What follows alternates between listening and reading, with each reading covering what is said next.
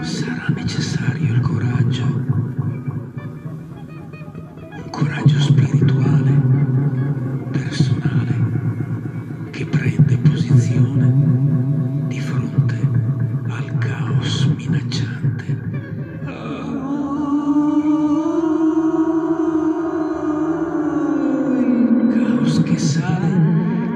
tristezza del mondo.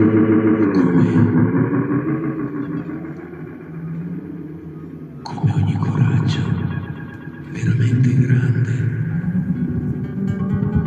hai sopra contro di sé i molti l'opinione pubblica